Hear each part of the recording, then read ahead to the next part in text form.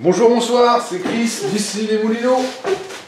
Je vais vous faire une petite vidéo sur le jeu euh, U-Boat. Je ne sais pas si vous en avez entendu parler. Euh, il est sorti euh, il y a quelques années peut-être maintenant. U-Boat, c'est quelle année? Je sais pas, je sais pas. C'est un an ou deux peut-être, même plus. En tout cas, c'est 60, 60 minutes ou plus la partie. C'est un jeu de 1 à 4 joueurs pour des joueurs de 14 ans et plus. Donc ça a été fait par Arthur Zvalvorski, pardon pour la prononciation, et Bartosz Pluta U-Boat The Borgen. Donc c'est un jeu de plateau de simulation de sous-marine piloté en temps réel par une application. Donc c'est un jeu qui joue avec une petite application, iPad, iPhone, ordinateur, ce que vous voulez. Donc c'est un jeu plutôt sympa. Enfin, moi que j'aime bien, c'est toujours, euh, moi qui suis un ancien rôliste, ben, un jeu parce que on est plongé dans, la simulation d'un jeu de sous-marin où on contrôle un sous-marin allemand, les fameux U-boats, donc en 1940, qui ont désingué, euh, détruit tout un tas de bateaux de, bateaux de marchandises. Hein, à l'époque, euh, il y avait tout un tas de bateaux comme ça qui flottaient, des cargos légers de tonnage, des cargos des gros cargos lourds, des, enfin de tout, armés, des vraquiers, vraquiers armés, des pétroliers.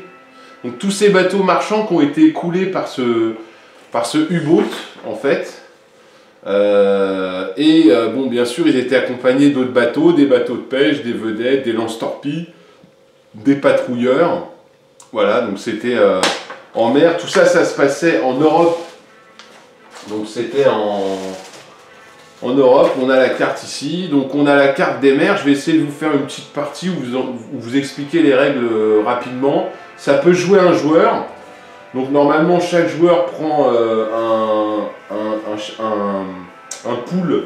Enfin, y a, ça se sépare en quatre. Donc il y a le second, le navigateur, le commandant, le chef mécanicien en équipe. Donc en fait, c'est un équipage divisé en quatre équipes. Dans chaque équipe, vous avez euh, 8, 8 personnes. 4 qui travaillent et 4 qui se reposent, hein, tout simplement. Donc en fait, euh, je vais vous expliquer peut-être le rôle un par un des gens assez rapidement et puis essayer de rentrer dans la partie euh, pour pas perdre trop de temps. Donc en fait, le commandant, lui, il a le, rôle principal puisqu'il a ici, il gère la piste des ordres. Donc c'est lui qui va donner des ordres et à chaque fois qu'il va donner un ordre, quel qu'il soit, déplacer euh, tout le monde, donc c'est l'ordre principal de réaffectation qui dit que tout, tout, tout, le monde peut se déplacer dans le navire, donc ça c'est le premier ordre qu'il va donner, euh, et ensuite donner des petits ordres, réparer, euh, tous les ordres hein, qu'il a ici, périscope, conjugateur de tir, inonder les tubes, lancer les tubes, recharger les tubes, communication à l'équipage, venez au numéro temps, amenez-nous à tel endroit, silence, c'est des ordres qui donnent en fait pour que chaque autre euh, petite équipe réalise cet ordre. Et, pour réaliser un ordre, à chaque fois, il va falloir activer un membre de, l'équipe. Hein, D'accord Celui qui réalise l'ordre avec un pion, un jeton activation qu'on mettra sur la figurine qui réalise cet ordre. Voilà, donc c'est cette piste d'ordre qui va descendre. Et quand on va arriver au niveau 0, il ne pourra plus donner d'ordre pour euh, faire avancer le navire, le bateau. Donc, il commencera à, s'il veut continuer toutefois à donner des ordres, il devra diminuer la piste ici plus bas qu'on appellera la piste de morale. Et à chaque fois qu'il diminuera la piste de morale en fonction de la couleur, donc s'il diminue ici sur la couleur jaune, il devra piocher une, une carte jaune. S'il diminue la piste de morale sur une carte rouge, il devra, orange, il devra piocher une carte orange. Et ainsi de suite, s'il diminue ici le moral sur une carte rouge, il devra piocher une carte rouge. Et c'est des cartes vraiment euh, néfastes hein, qui, vont amener que des problèmes euh, dans, l'équipage. Donc euh, voilà, le but c'est de ne pas perdre vraiment de morale parce que de toute façon, après ici c'est quand même la fin de la partie. Il vaut mieux regagner du moral souvent pour essayer d'en... Alors je vous expliquerai après pour regagner du moral justement. Le commandant ici gère aussi des cartes qui vont lui permettre de regagner du moral. Donc c'est des cartes qui vont pouvoir redonner du moral à l'équipage à travers une petite compétence qu'il a ici, le commandant. Euh, chaque petit personnage a deux compétences, des compétences qui vont lui permettre de travailler plus vite que les autres sur une tâche effective. Donc lui, le commandant, c'est un spécialiste du périscope et c'est un spécialiste de donner des ordres sur tout le bateau. Euh, voilà, donc ça on l'a compris, c'est la piste des ordres, la piste de morale. Donc ça c'est à peu près ce que va gérer le commandant. En plus il a un officier de quart et deux torpilleurs qui eux sont plus spécialisés dans l'attaque, donc tout ce qui est cadran de tir et euh, mettre les torpilles en eau et tirer avec des torpilles. Ensuite on aura le mécanicien ici qui pareil aura euh, quatre personnages à gérer au départ.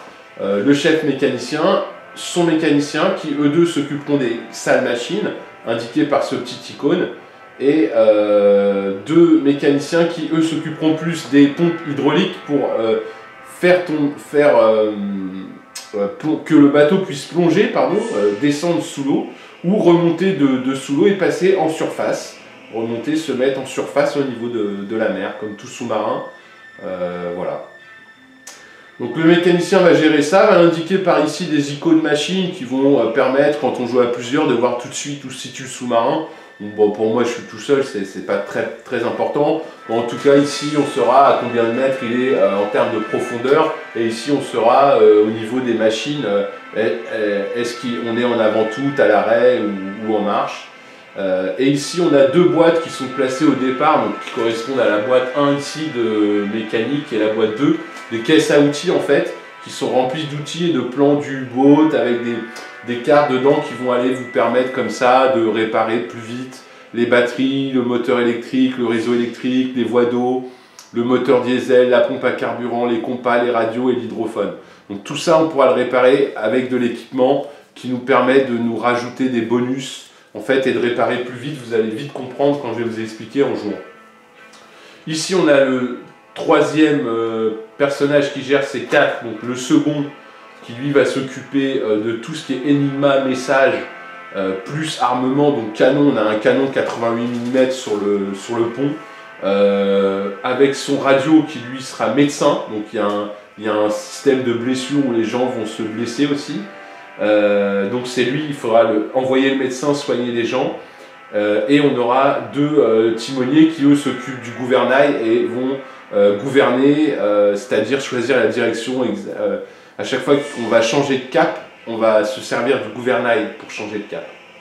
Et enfin, en troisième, ici, on aura euh, le l'explorateur, j'allais dire, mais c'est le navigateur, c'est le meilleur, celui qui va s'occuper donc de naviguer, donc de nous faire euh, s'occuper de se servir des instruments de compas et de navigation euh, sur la carte qui vont nous permettre en fait de, de situer où sont les bateaux et de pouvoir les torpiller. Euh, tout simplement. Donc très utile et en plus il va être euh, veilleur, c'est-à-dire qu'il va envoyer des gars sur le pont à la jumelle pour euh, pouvoir regarder un petit peu ce qui se passe autour du, sous-marin. Donc autant vous dire quelqu'un aussi d'essentiel. Et en plus, il jouera le cuisinier, qui, est, représenté par le couteau et la fourchette, là, ce petit icône, qui dit que lui, eh ben, il pourra, pour une action pareille, préparer un bon repas euh, pour que nous puissions manger et peut-être gagner du moral d'ailleurs. Donc voilà, euh, présentation rapide des quatre rôles, donc vous allez voir comment ça se passe. Chaque joueur a quatre membres dans son équipe, représentés par quatre figurines de couleurs et de symboles correspondants. Euh, voilà, et donc trois actions possibles à chaque quart. Vous verrez, c'est un jeu en quart où ben, un quart c'est 6 heures, donc la journée est divisée en 24 heures, donc il y a 4 quarts. Donc on va attaquer le premier quart démarrer la mission. Euh, donc voilà, je lance l'appli, je démarre la mission. Et ils nous disent qu'on est euh, le 1er août 1940, il est 8h du matin. Et une nouvelle tâche euh, de maintenance donc nous est demandée. Il faut, et oui, effectivement, s'occuper de l'installation électrique en section 6. Alors en section 6, c'est juste là. La section 6, donc c'est à l'arrière du bateau, l'avant, l'arrière. Et à l'arrière du bateau, section 6, alors on a des petits jetons jaunes comme ça qui peuvent nous aider, c'est des aides en fait en cas de problème. Chaque jeton représente une aide, donc là en 6 j'ai une boîte d'ampoule par exemple. Ici euh, j'ai tout ce qui est euh, gilet, mécanique, ici j'ai le, le comment il s'appelle? Bah, L'extincteur, la pompe à eau et euh, le câble électrique. Donc et là, ça doit être les masses de protection. Voilà, c'est les masses de protection. Donc euh, ici, je vais le système électrique et de toute façon là, l'appli nous demande, euh, c'est une maintenance d'installation électrique. Donc les ampoules ne serviront pas. Donc on clique sur réparation et on voit qu'il nous demande en fait euh, deux petites clés à molette. Donc 0 sur 2 avec un carré rouge, ça veut dire que il faut deux personnes pour réparer euh, la maintenance installation électrique. Donc au départ, j'ai donné déjà un premier ordre de réaffectation, euh, comme je le disais, donc réaffectation, l'ordre du commandant qui permet de réaffecter toutes les figurines que j'ai bien placées au bon endroit, en fonction de leurs compétences, de ce qu'ils savent faire. Donc en fait, euh, là-bas j'ai un problème en 6 et il est tout seul pour réparer, donc je pourrais l'envoyer réparer, c'est le rond blanc, c'est celui-ci. Donc je vais lui mettre un jeton réparation pour dire que lui, le torpilleur, bah, pour l'instant il répare. Mais comme il n'a pas euh, de clé, d'icône clé, il n'a pas la compétence réparation, je suis obligé de lui mettre deux jetons temps. Donc vous voyez, lui déjà, sur trois jetons temps dans son car, il va être occupé à réparer quoi. Il va, il va réparer. Donc c'est un jeu de gestion de temps, de gestion d'ouvriers et en même temps de guerre puisqu'on va combattre quand même des bateaux euh, en pleine mer, qui est, quand même assez réaliste, assez bien géré euh, par l'application. Donc voilà, euh, qu'est-ce que je disais? Voilà, donc il réparait mais il était tout seul. Donc comme il ne peut pas juste réparer lui tout seul, je suis obligé d'envoyer quelqu'un. Donc je suis obligé de refaire appel à l'ordre du commandant, réaffectation. Donc le commandant fait réaffectation et après bien sûr en plus il fait l'ordre réparer pour que tous ces messieurs puissent euh, réparer, d'ailleurs avoir une clé verte, euh, un, jeton d'activation. Ça, c'est pas gratuit, il faut au préalable avoir donné l'ordre avec le commandant. Donc euh, voilà, l'ordre a été donné donc, de réaffectation pour qu'un des deux ici, par exemple, le, carré marron puisse se déplacer ici pour aller l'aider. Le carré marron qui est ici, lui, a la clé verte, donc je lui mets bien qu'il est en train de réparer sur ces trois actions et je lui mets un seul jeton parce que lui, il est spécialiste, il a la compétence clé, donc il n'a pas besoin de prendre deux jetons comme celui-là. Voilà, très bon exemple. Donc voilà, je continue. J'indique toujours, j'oublie pas d'indiquer euh, à l'action, euh, à l'application, pardon, de lui dire que j'ai envoyé deux personnes réparer. Donc l'application nous dit euh, la réparation a démarré, il est 8h03. La maintenance d'installation électrique en section 6 est en train de se réparer. Ensuite, euh, je vais euh, préparer la réaffectation. Donc, pendant que j'ai donné l'ordre de bouger tout le monde, je vais bouger ces deux mécaniciens ici, et vous verrez pourquoi par la suite. Alors, bien sûr, moi je connais le jeu, mais c'est important de, comme j'ai déplacé un marron là-bas, je sais que c'est des mécanos, on va devoir faire partir le bateau, le faire avancer. Il va falloir beaucoup de gens dans la chambre des moteurs, la section 5, qui est la, section des moteurs pour faire avancer le bateau. Donc ensuite, on dit à l'appli euh, quel cap on veut. Donc là, il va falloir regarder par rapport à la mission. Donc la mission qui est ici, euh, nous, nous, on va démarrer ici en zone 38, à N38 sur ce carré. Donc tout ça nous a été indiqué par l'application. Et l'application nous dit que en zone 93 et en zone 67, ici, ce sont des zones, des, des zones où des navires marchands s'y trouvent et qu'en haut, il y a des avions qui commencent à arriver sur nous, un peu plus au nord. Sur la gauche, on, a, on peut faire un rapport météo, mais bon, euh, c'est peut-être pas très judicieux de rester dans le coin. Et ici, on a installé un champ de mine, donc en AN31. Donc nous, le but, ça va être de pouvoir nous déplacer de ici à ici. Donc pour ça, on va prendre les instruments de torture, j'allais dire, mais non, les instruments de navigation. On place donc le centre le 0 toujours au nord par rapport au plan, d'accord? On place le centre du rapporteur sur la N38 et on prend l'angle que le rapporteur va nous donner en fonction de la direction où on désire se rendre. Donc ici, l'angle, c'est, on voit à peu près euh, l'angle 170, d'accord? 170. Donc on, va, on, doit prendre un angle euh, de 170. Alors, pour ça, on a en plus un deuxième outil qui peut nous être utile, c'est une petite réglette qui nous permet de mesurer le temps qu'on va mettre pour s'y rendre en fonction de si on voyage au-dessus de la surface ou si nous voyageons en dessous de la surface de la mer, sous l'eau. Donc sous l'eau, on voit qu'on va beaucoup, beaucoup moins vite. Sous l'eau, je mettrai à peu près 12 heures pour y aller, alors que si j'y vais Au-dessus de l'eau, je mettrai 6 heures seulement. Donc, comme on sait que les changements de quart, c'est toutes les 6 heures, on va plutôt essayer de mettre 6 heures. Donc pour ça, ce qu'on va faire, c'est qu'on va dire à l'appli tout ce, qu'on veut faire. Donc pour, le cap, on a dit cap 170. Donc on, on indique à l'application un cap de 170. Voilà. Alors, ce qui est bien dans le jeu, c'est que l'appli va tout nous dire maintenant. Le rôle, le second. Donc le second, c'est lui. Est-ce qu'il est bien en section 3 D'accord? Est-ce qu'il a bien des hommes en bleu à lui en section 3 ici? Et oui, il a le triangle bleu et le rond bleu. Donc il a ces deux-là. Qui, comme par hasard, ont le symbole timonier, donc la roue. Comme il nous rappelle ici, Rocky, deux roues. Donc là, il faut que j'active ces deux marins et que je leur mette à chacun un jeton d'activation seulement parce qu'ils ont la compétence roue qui est demandée ici par l'application. Nouveau cap 170 degrés. Vitesse. On est en stop. Donc là, la vitesse, on va la passer en avant toute, au niveau des machines. Avant toute. Il va nous demander pareil. Donc ici, le chef mécanicien, le chef mécanicien qui est ici, est-ce que un de ces joueurs marrons est bien en section 5 Et oui, il en a 3 et il demande deux fois l'insigne machiniste. Donc on va activer euh, les deux, le, lui qui a l'insigne machiniste, donc d'accord? Euh, Non, le carré il n'est pas là d'ailleurs, pardon. On va activer le, chef qui a l'insigne machiniste et on va activer le triangle marron qui lui n'a pas l'insigne de machiniste, mais c'est pas grave, on lui met deux jetons pour la peine. Voilà. Mais il fait l'action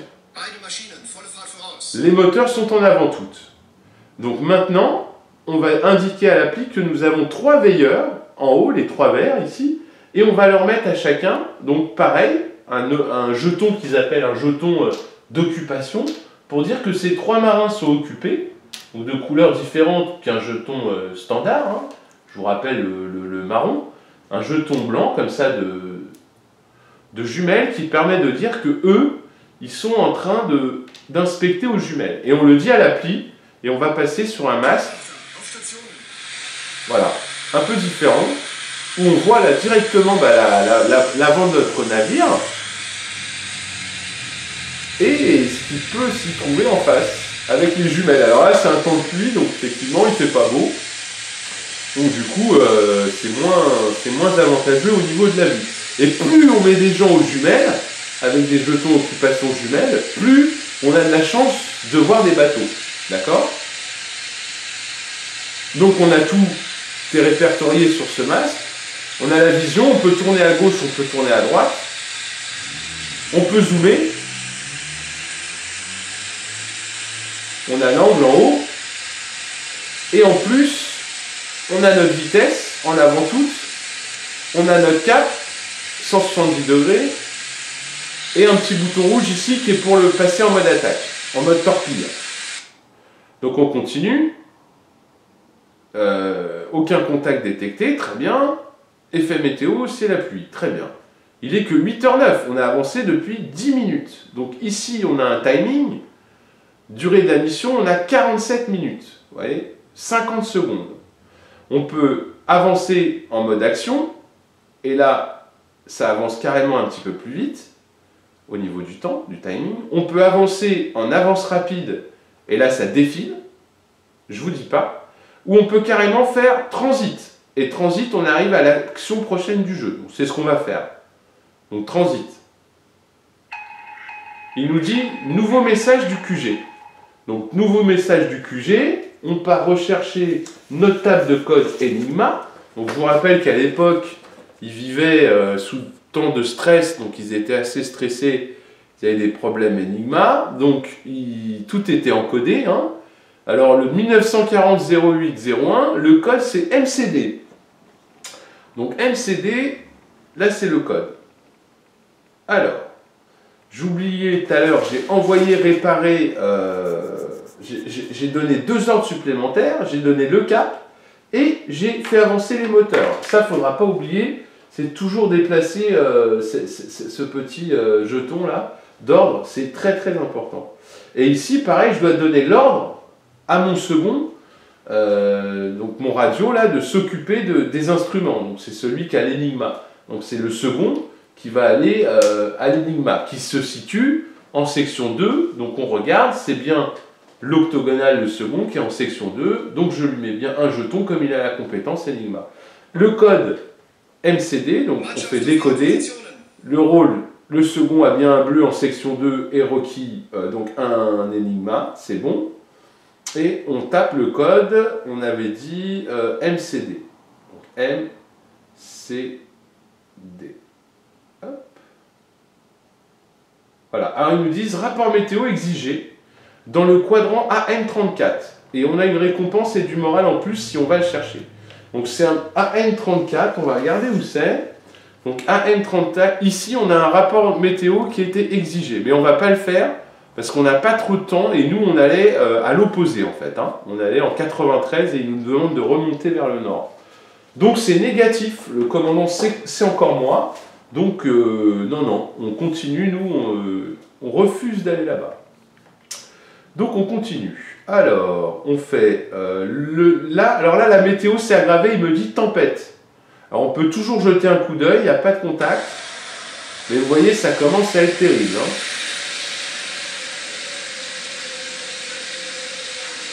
En haut, ça souffle, quoi. Hein. Bon. Donc, euh, bon Dieu, bon Dieu, on va faire un transit donc pour avancer un peu. Alors, la réparation est terminée. Maintenance, installation électrique terminée, section 6. Donc, section 6, euh, c'était ici. La réparation est terminée. Donc, on avait le rond blanc et le carré marron qui devaient bosser dessus. Effectivement. Donc, on retourne euh, ou on remplace, c'est pareil, euh, avec un pion ordinaire pour dire que la réparation est terminée. Voilà. Donc, le carré marron et le rond blanc ont terminé leur réparation. D'accord? On continue, on fait transit. Une nouvelle tâche de maintenance. Euh, il y a un dysfonctionnement à la pompe à carburant section 5. La durée de la mission est réduite de 10%. Ah, là c'est ennuyeux. Donc, euh, il faut aller euh, en section 5, voir ce qui se passe. On va voir. Instrument, donc c'est réparation, pardon. Et il nous demande trois personnes pour réparer euh, le dysfonctionnement de la pompe à carburant en section 5. On peut regarder dans la boîte à outils qu'on a justement en section 5 s'il n'y a pas une, euh, un outil qui nous permettrait de réparer euh, la pompe à carburant. non, je crois pas. Hein. Non. Non, j'ai pas ça dans mes outils. Avec moi, sous la main. Mais par contre, je peux, s'il y a au moins deux marins dans l'équipage de réparation, donc c'est le cas, euh, deux marins, s'il y a au moins deux marins dans l'équipage de réparation, l'un d'eux est activé avec un rond normal plutôt qu'une qu'une croix verte. D'accord. Ok. Euh, et l'autre, c'est seul le, le chef mécanicien est activé avec un, un, une, un jeton vert les autres marins de l'équipe de réparation sont activés en utilisant un jeton normal. Ben, on va prendre ça. On va prendre ça. Donc, euh, on avait dit trois personnes, donc ils sont bien trois. Donc, le chef, il n'y a que lui qui va avoir un jeton vert. Il a la croix, donc il a la, clé, donc la compétence clé, donc il a besoin que d'un jeton. Et les autres auront un jeton normal. Donc, c'est le rond et le triangle. Voilà. Et tous les trois, ils vont se mettre à réparer la ça. Ensuite, section 6, vérification hydraulique gouvernail. Section 6. Alors, ça c'est en queue de gouvernail, c'est là-bas. Section 6, qu'est-ce qui se passe? L'hydraulique. Donc là, il en veut trois, il veut trois personnes également. Donc on est obligé de donner un ordre de déplacement et, un, et le dernier ordre, donc on ne peut plus donner d'ordre de, réparation. Et là, on va envoyer, euh, du coup, du coup, on va envoyer parce qu'ils vont pas être assez pour réparer, donc euh, lui, il va arrêter de... Le chef, ouais, il va arrêter de porter la jumelle, il va descendre, donc il va en profiter pour se déplacer, parce que je viens de donner l'ordre. Et l'ordre de réparation, comme les autres, ce sera euh, section 6. Donc du coup, ils prennent tous un jeton de réparation. Voilà, hop, réparation. Alors, il va se mettre à réparer. Le rond blanc, pareil. Est-ce qu'il peut? Non, il peut pas. Le carré marron, il peut. Donc lui, il va réparer. Le carré marron, en plus, c'est un spécialiste. Donc je vais amener en plus, je vais amener un triangle bleu qui va aider. Un triangle bleu qui est là et qui va aider. Voilà, avec deux jetons lui par contre, parce qu'il ne connaît rien à la mécanique. D'ailleurs, on va préciser que c'était de la mécanique. Voilà. Et voilà, donc on a nos trois mini hop, qui, réparent et, et, eux aussi, donc eux ils réparent. Ça a démarré pour la vérification hydraulique du gouvernail en section 6. Très bien, voilà. Donc on continue, il est 11h, on fait le transit. Et là, on passe à une phase qui s'appelle donc second quart à vos postes. Le commandant ajuste la piste des ordres jusqu'à la case 8. Donc là, on récupère tous nos ordres. Hop, c'est comme une nouvelle journée en fait. On va ici redescendre. Le, le quart va tourner, donc les gens euh, qui travaillaient vont aller se coucher. Et il y a quatre nouveaux, quatre nouveaux marins qui vont se lever et qui vont euh, continuer leur travail. Donc ici, il va continuer à réparer. D'accord? Donc on lui met un jeton parce que c'est un spécialiste. Lui, il va continuer à réparer, pareil. Lui, il n'a rien à faire, lui, il n'a rien à faire. Et on enlève un jeton euh, de fatigue, de temps ou de fatigue, comme vous voulez, pour dire qu'ils sont en train de dormir. Donc pareillement ici, ah, j'ai fait tomber des fiches, voilà, pareillement ici, donc ici, on a fait basculer, c'est bon, il n'y a pas de transition au niveau des, des pions occupation, donc lui se repose, on lui enlève un jeton, Ici, lui, il va prendre la relève, on lui met un pion vert, et lui, il se repose, lui, il en avait deux, il se repose, et lui, hop, voilà, tout le monde se hop. Et ici, pareil, donc lui, il va continuer la veille avec les jumelles, lui, il va continuer de réparer, lui, il se repose, et c'est bon, il n'y a que lui, comme il n'est pas spécialiste, et lui non plus, il récupère des jetons supplémentaires. Voilà, c'était la règle de base que j'expliquais au départ. Donc euh, voilà. Qu'est-ce qu'on disait d'autre? Donc le, changement de carte, vous avez vu, c'est pas très compliqué. Il suffit de rabattre les, à chaque fois les quatre euh, pour que tout le monde puisse aller se coucher et que les nouveaux euh, arrivent et prennent la relève en fonction de, des jetons qui étaient apposés au préalable. voilà. Qu'est-ce que je peux vous dire d'autre? Et ben voilà, donc il est midi, il est midi, on peut regarder, on, dit à, on dit à toujours. Ah par contre là on a un temps clair, voilà, on a un temps clair. C'est plutôt sympa. Donc on va continuer d'avancer, de toute façon on est toute balle pleine vitesse, on fonce vers l'objectif. Réparation terminée, donc vérification hydraulique, section 6 c'est fini. Donc il y avait le triangle bleu qui a terminé, donc lui c'est fini. Section 6 est terminée. Euh, le rond blanc, il a fini aussi. De toute façon, le rond blanc, euh, ouais, non, il bossait pas. C'était le carré marron. Le carré marron, il a fini aussi. Ok. Et le l'octogone vert, il a fini aussi. Voilà. Donc ça, c'est réparé. C'est bien. C'est une bonne chose de faite. Réparation terminée. On continue. Ah, donc là on a un contact, on a un petit contact. Donc on va essayer de se situer. Donc on avait un câble de combien nous? 170. 170. Alors, contact, contact. Donc vous mettez la roue, le zéro côté nord toujours. On, euh, oui, on prend notre cap à nous 170. Voilà, ici a marqué cap du haut de 170. Voilà, le gisement il est de 8. Donc ça c'est la flèche noire sur le gisement, on prend sur la roue verte. Hop, de 8. Ok, donc il a... Ok. Et ensuite, Euh, cap 349. Cap de l'ennemi 349. D'accord. Donc il arriverait en face en fait. 2 nautiques 5. Il arriverait en face. Donc nous on serait comme ça et lui il arriverait en face. On serait comme ça en fait. Hop hop. Ouais, ouais, ouais, ouais. D'accord. Donc, ah bah voilà.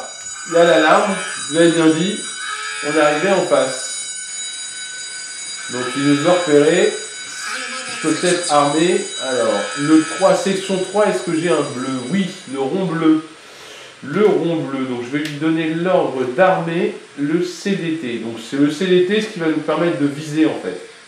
Et d'avoir directement l'icône, euh, de bien voir le bateau finalement en fait. Hein. Vous voyez, d'avoir une meilleure vue sur le bateau. Euh, en plus, donc là, je peux le... Il essaye de fuir, donc de changer de cap. Donc je peux mouiller les torpilles en section 1, par exemple. Euh, équipage en position, oui. Section 1, j'ai un triangle qui peut euh, mouiller les torpilles. Donc lui, il va le faire.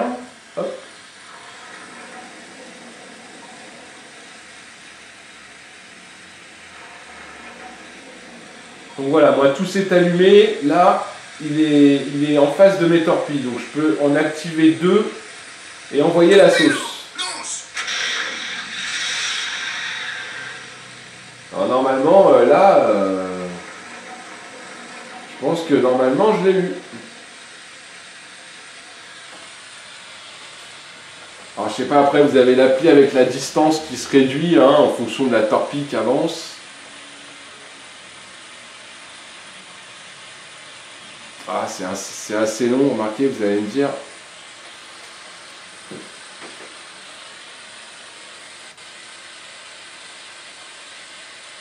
Mais normalement, euh, je crois que là, il est mal le mec. Hein. Je peux même lui en renvoyer deux pour le finir. Et là, avec tout ce que j'ai lancé, normalement, il est mal. Hein. Parce que je suis arrivé bien en face. Alors, je suis peut-être un peu loin. On va voir quoi. C'est peut-être un peu loin. Alors 10 mètres, 9 mètres, 7 mètres, 6 mètres, 4 mètres. Ah non, je l'ai loupé. Donc je l'ai loupé, euh, je loupé deux fois. Donc les deux premières torpilles, je l'ai loupé. Euh, les deux deuxièmes, elles sont en train d'arriver 55 mètres, 50 mètres. Bon, c'était un petit bateau, hein, je sais pas ce que c'était. Euh, contact 1, 0 de gisement. Ouais. ça va être loupé, je pense. Hein. Ça va être loupé, ouais. Non, il s'est mis de face. Alors là, il s'est mis de face et il fonce sur moi. ah là là là là. Et ben voilà. C'est râpé.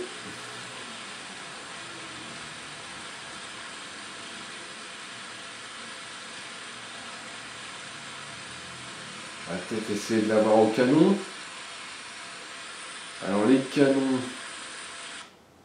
Les canons, on fait armement.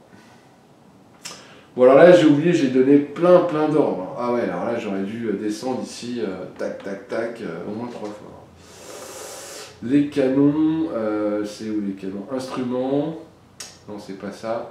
Armement. J'ai le gros canon là, alors là,